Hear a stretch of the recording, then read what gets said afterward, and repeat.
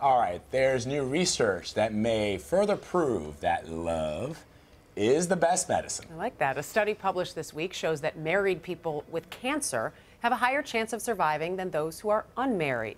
So, how exactly were they able to come to this conclusion? Right. So, so this is actually building on a number of, of research studies that we've had out in the last 10 to 15 years, which showed that people who are married uh, have better health overall. They tend to live longer, um, have a, a, greater life expectancy, um, you know, in, in a number of, against a number of illnesses. Right. And cancer is the latest one. Now, so researchers in California looked at about 800,000 people, uh, data from 800,000 people over the course of nine years.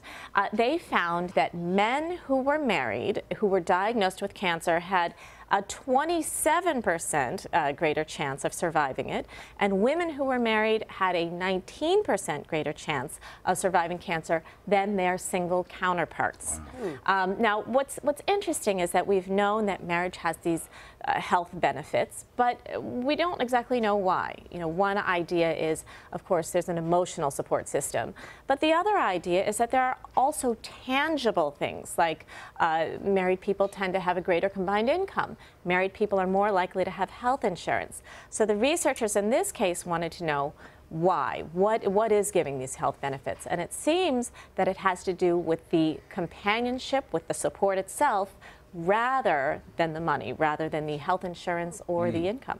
The, um, I mean, there are chemicals that are released into the body when we fall in love and when we are in love. Uh, and you do hear stories of people who die of broken hearts. You right. know, you hear right. these, you know, World War II veterans, and one dies, and then three months later, the other one dies. Is it possible, and perhaps we don't even understand it even with science and medicine, that love is able to at least heal us in some way. Right. You know, I, I, I, think it, it just, we can just say the body and mind really are one. Mm-hmm. Um, and from a physiologic perspective, we know that companionship can lower stress, less stress lowers inflammation, and less inflammation lowers our risk of things like heart disease, stroke, cancer, our top killers. Uh, but, you know, I do think it's important to point out with studies like this, it's not the marriage license itself that is healing people, right? right? right. Needs to be a good marriage. Yeah, just have a marriage license on the wall.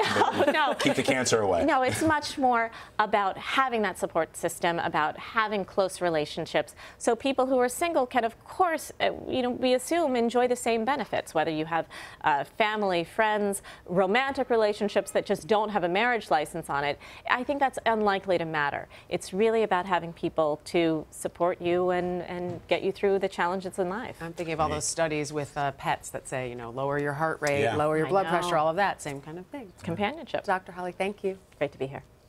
CBS News Health Watch, presented by Cancer Treatment Centers of America.